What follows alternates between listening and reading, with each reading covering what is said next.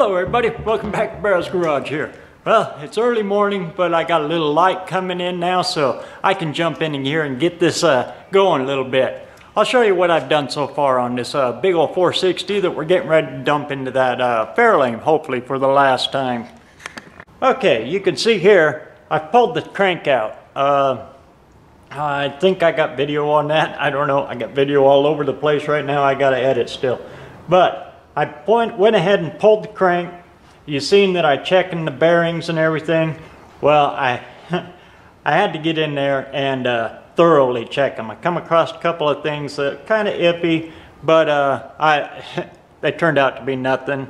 But it's always better to be sure, especially with 3,200 miles that you're looking at, than uh, taking a guess. Anyway, some of the things I wanted to show you here on these, on these Fords that uh, it, I don't know if if you're like me, you kind of geek out on this kind of stuff. But back when Ford first introduced their overheads in the Y blocks, uh, overhead valves, uh, they they made the switch from the uh, the old flatheads to uh, what everybody else was going to.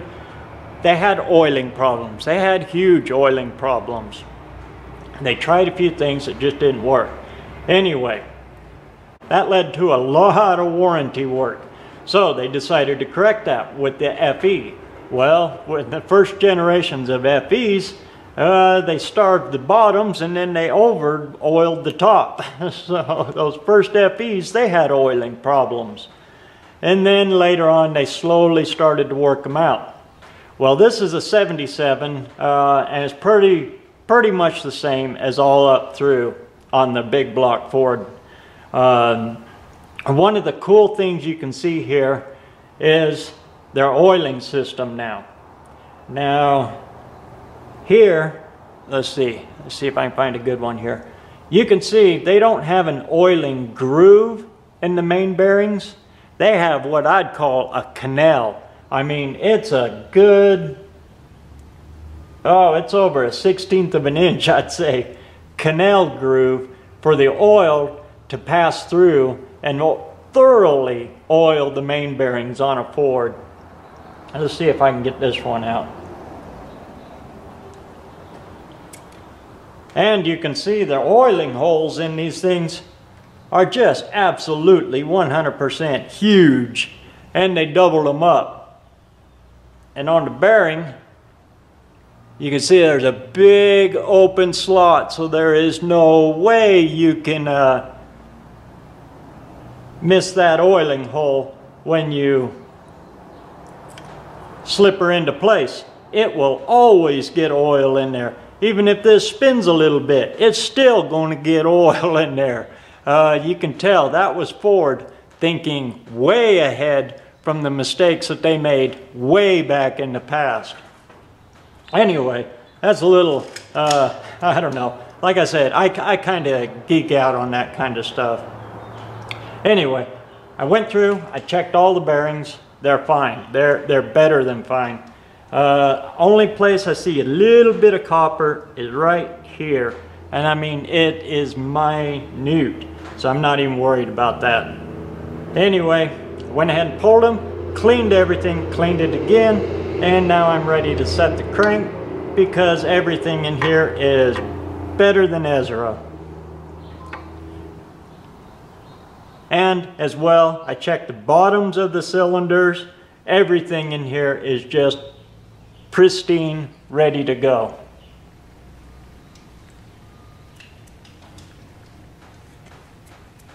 Anyway, so I'm ready to drop the crank back in uh, set my mains back, uh, set the rod bearings, retorque everything.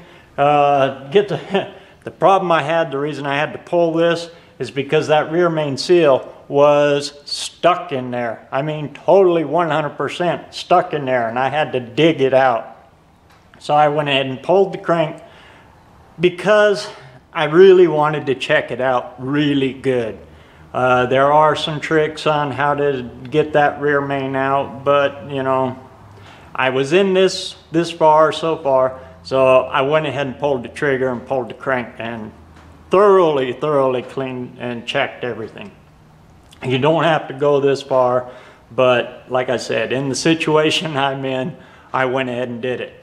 Anyway, that's where I'm at now. I just wanted to kind of show you those uh, Ford canals, oil canals in their main bearings that they really, you can see, they really took their time and really thought about keeping them bearings oiled. And uh, that's one of the reasons that Ford's over, I'd have to say over all the other brands, really hold together well under some extreme punishment, uh, neglect, everything. A Ford will, they're, they're hard to kill.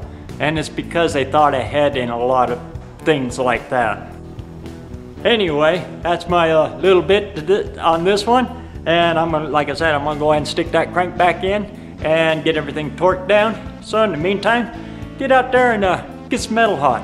And I'll see you on the next one. Hopefully when I'm uh, sticking the pan on here or doing something more fun than just showing you the stuff that I've already done. We'll catch you on the next one.